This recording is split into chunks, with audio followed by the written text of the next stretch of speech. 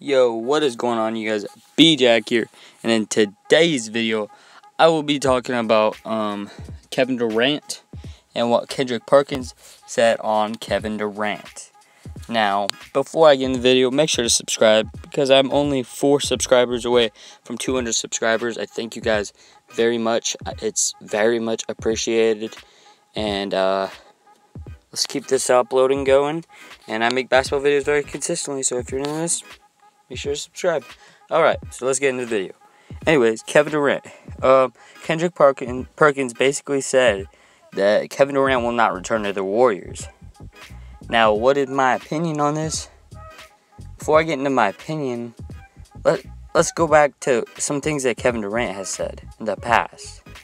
Said that he doesn't even know who was traded for Kristaps Porzingis or whatever with the Knicks when he was asked about if he's going to go to the Knicks or whatever, or if he has any interest in it. Um, basically saying he doesn't really even, he didn't even really talk to the Knicks or even thought about that, really. He said he hadn't really even thought about free agency. Now, now let's get in my opinion. My opinion is that Kevin Durant, I don't know. See, this is a hard decision because I thought he was going to return, return to the Oklahoma City Thunder back then. So you can never really predict Kevin Durant because, you know, he went to the Warriors, which almost nobody expected. And it was just, it was very unexpected. Now, now, let's get, let's think about now. Do you think he could do the same thing, surprise everybody? Maybe re-sign with the Warriors, or maybe, um, surprise everybody with signing with a team other than the Knicks or the Lakers? Or the Clippers? I don't know, guys. You know, that's that's for you guys to decide. But I don't, I don't think he's signing with the Clippers. I don't know about the Knicks, guys. I don't know. He just he didn't seem like the type to go to the Knicks. Maybe the Lakers. Maybe resign with the Warriors. See, that's the thing I'm not sure about because I feel like he could still resign with the Warriors, guys. Do not be surprised if Kevin Durant still signs with the Warriors and still ruins the NBA even more. But I don't know, you guys. Uh, it's tough to say because Kevin Durant has surprised four in free agency, and he might do it again. I mean, personally, I don't want to say this in a video, but in my opinion, Kevin Durant is just a snake. You know, he ruined the NBA. Yeah, you guys might say there was super teams before, but not a super team this good this unstoppable.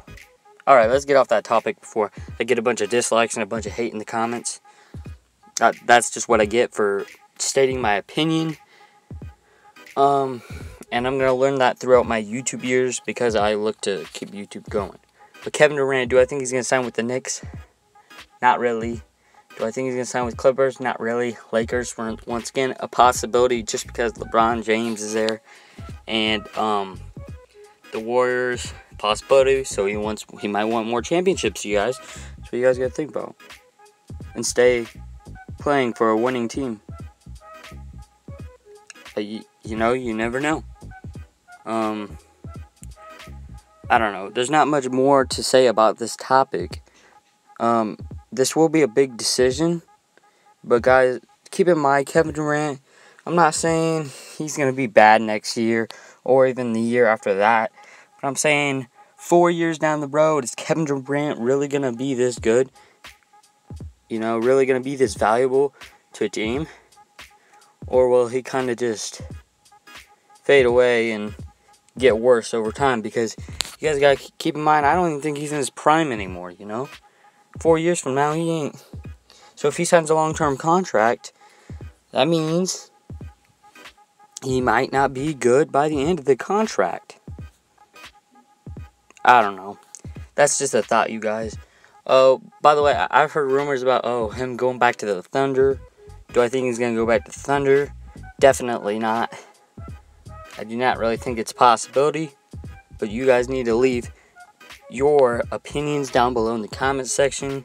And if you enjoyed this video, enjoyed the conversation, make sure to leave a like. And if you enjoy basketball conversations almost daily, or as much as possible, make sure to subscribe. Please, guys, I'm trying to get 200 subscribers. See you guys in the next video. Peace.